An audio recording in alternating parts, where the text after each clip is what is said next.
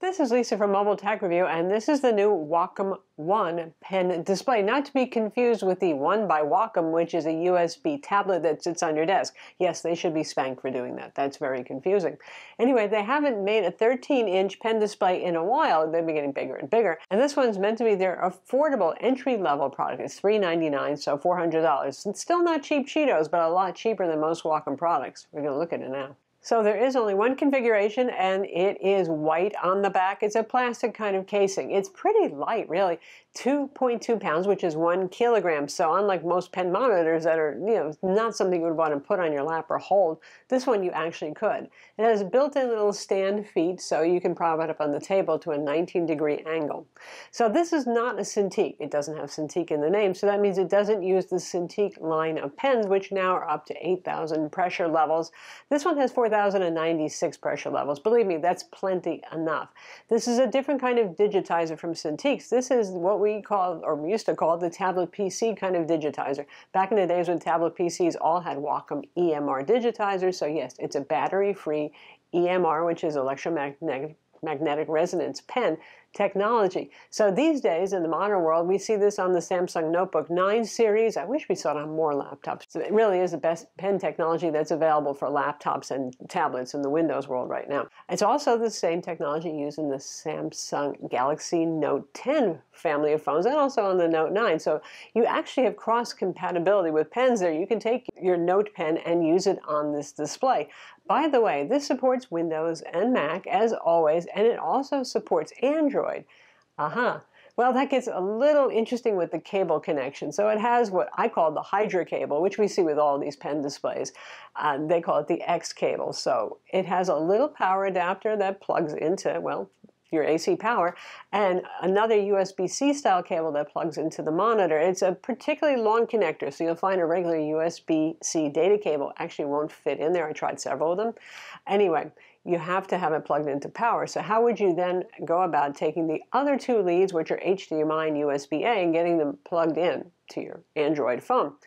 Well, you do it using a USB-C hub. So I used the USB-C mini hub, and I used it with the Note 10 Plus. It works with other Android phones, but there's a kind of nice pen synergy there, and Samsung does their Dex desktop mode to make it more interesting. And yes, it actually works. So you have a portable pen monitor that's high quality in terms of pen response that you can use with an Android phone. Fascinating. No app required or anything like that. Anyway, 4,096 pressure levels, and 60 degrees of tilt supported, which is nice for shading for those of you who are doing natural media style work. The line quality on this is excellent. The response is excellent. And it uses the same Wacom app and control panel setup that you're used to seeing with Cintiqs and other Wacom products.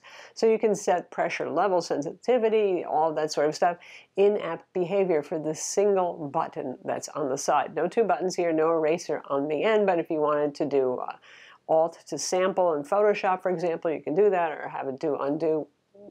You got it. So as you can see, diagonal line jitter is pretty much zero. That's wonderful. And when you look at, say, competing Windows tablet PCs or the Microsoft Surface line and all that sort of stuff, whether it's Wacom AES or N-Trig technology, usually there's a lot of diagonal line jitter, which translates into if you're drawing slowly, you might get lines that aren't smooth. None of that here. This is an artist dream in that respect. You've got good pressure sensitivity. You can see I've used different Photoshop pens to do opacity or to do line size, and all of that works very well. Pretty smooth lines on curves. I'd like to see a little bit smoother. What's not Cintiq level, but hey, it's better than most products out there. So from a pure artist standpoint, in terms of the brush and pen experience, it's excellent. Of course, something that's very affordable and portable, they also intend this maybe for people who want to do note-taking, though probably a lot of you will get a Surface or one of the many convertibles with pens that are available these days. But note-taking, photo editing on the go, that's where it's really nice. If you prefer editing directly on the image instead of using a USB tablet with that level of indirection, which I'm, I just couldn't go back to doing that anymore. In terms of the monitor quality, it could be better, folks. It's not even up there with the Cintiq 16 in terms of brightness. They claim 200 nits of brightness. We measured at 191 nits. They claim a 1,000 to 1 contrast ratio. We didn't get that, but then you do have adjustable contrast on this, and I left it at the default 50% because that looked the most correct and natural to me. I imagine if you raised it up, well, you can get it higher, but maybe at the expense of the image accuracy and quality. Anyway, you can see the metrics on screen. They're okay. They're not great. Honestly, for $400, I would have liked to have seen a little better. This has an anti-glare film on top of the display. You really can't see it and peel it off like you can with some budget pen monitors from XP Pen and Huion and all that. It's really well applied. Uh, it's not laminated either, so which none of the affordable Cintiq lines are. You have to look at the Cintiq Pros to get the laminated glass. So there's really no pen tip parallax here, no pen tip offset that means. But if you look at it, you can see the layers of the glass over the digitizer, which in part, is probably one of the reasons why the display looks okay. Not really great though. The resolution is Full HD 1920 by 1080, which is fair for the price and for the size of the display. And this is a pen monitor, folks. There's no computer built in. It is just a display that supports pen. One bad thing about that anti-glare film is it does scratch pretty easily. I've already accidentally scratched it just by putting it face down on what I thought was a clean table. This is an AHVA display, which is similar to IPS in terms of technology. If you want to adjust the brightness and contrast, by the way, you're going to use the on-screen Wacom app to do that. There are no hardware buttons for controlling that. The only thing you get here is a power button.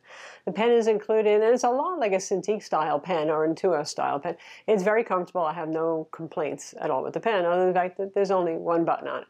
It's on the light side, but some people actually prefer that. I like a thicker pen. I find it ergonomic, but like I said, you can use a variety of pens with this. By the way, this is not a touchscreen. Sorry, at this price you don't get a touch or a touch option even, non-touch. So yeah. Since this is a budget product, you don't get the fancy pants, well, tampon holder style case that you get with the Cintiq, but they are pretty clever. When you flip open the stand legs underneath one of them, you'll see three spare nibs and a nib puller built in. Pretty cool. So that's the Wacom One pen display. They're most affordable and they're most portable, which is one of the nice things about it. It's very light. It's easy to take with you anywhere, unlike most big Wacom pen monitors. Yeah, uh, the pen behavior on this is always that's the selling point with Wacom products. You might argue with their display quality on their more affordable products and other things, but boy, the pen tracks nicely on this. And then you have the compatibility with a variety of other pens, since this uses, like I said, the old kind of tablet PC technology. Only, of course, it's been updated over the years. So it's the same technology that's used on Samsung Notebook 9s and the Samsung Galaxy Note, which is kind of interesting. It means cross compatibility with pens. Me, if size wasn't a consideration, I'd still look at their Cintiq 16. You get the Cintiq pen with more pressure levels, like I said a bigger screen on it and a better display. But of course, that one does cost $250 more and is not something as easy to carry around, is it? I'm Lisa from Mobile Tech Review. Be sure to subscribe to our YouTube channel for more cool tech videos and pens up if you like this vid.